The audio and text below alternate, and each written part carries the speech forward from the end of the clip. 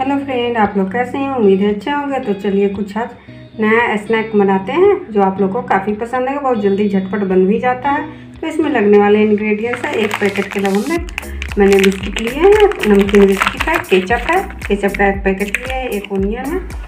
और थोड़ा सा मैंने नमकीन ऐड किया है, और चाट मसाला मैं जब बनाऊँगी, उस समय डालूँगी। तो चलिए मैं इसे फाड़ करके और बिस्किट निकाल आप देख सकते हैं मैंने उन्हें को बिस्किट को अच्छे से फाड़ लिए अब एक एक बिस्किट सबसे पहले मैं इस पर डालूँगी।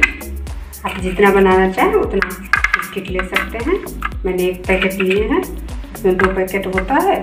अंदर में मैंने एक ही पैकेट का यूज़ किए हैं। आप देख सकते हैं। इस तरह से आप बिस्किट पहले डालें, उसके ऊपर से आप ओनियन के पीसेस डाल दें। राउंड भी में डाल सकते हैं या आप ऐसे भी बीच बीच से तरह से आप निकालते हुए इसे डाल दें अच्छे से। इस तरह से दूसरी भी पीसेस का बीच का निकाल करके डालें।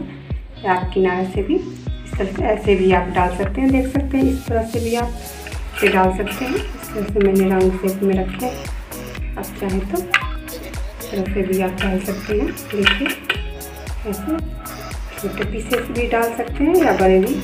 आपके इच्छा के ऊपर है, आप जैसा डालना चाहें, इस तरह से। आप डाल सकते हैं। देखिए, मैंने पूरे डाल चुके हैं अब इसके ऊपर से आप। दूसरी बिस्किट को भी इसी तरह से ऐड करते जाएँ। एक के ऊपर एक रखते जाएँ। जिससे और भी टेस्टी, बहुत ही झटपट है बनने वाली भी है, जो आप लोग को काफ़ी पसंद आएँगे। तो चलिए, मैंने सारे को रख लिए। अब इसके ऊपर से मैं केचप डालूँगी। आप देख सकते हैं मैंने केचप को कट कर लिए। अब इसको इस तरह से आप इसके ऊपर डालते जाएँ। इस तरह से, इस तरह से डालते जाएँ। देखिए, बहुत ही यम्मी और टेस्टी स्नैक है। आप लोग भी स्नैक्स इसे, आप लोग भी ज़रूर बनाएँ। बहुत ही कम इंग्रेडिएंट से बन भी जाते इसके ऊपर से आप नम, नमकीन हल्का हल्का छिड़कते इस तरह से।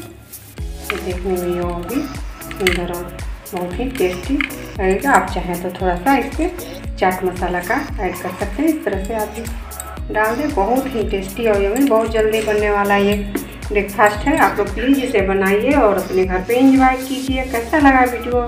लाइक कीजिए सब्सक्राइब कीजिए। थैंक यू धन्यवाद।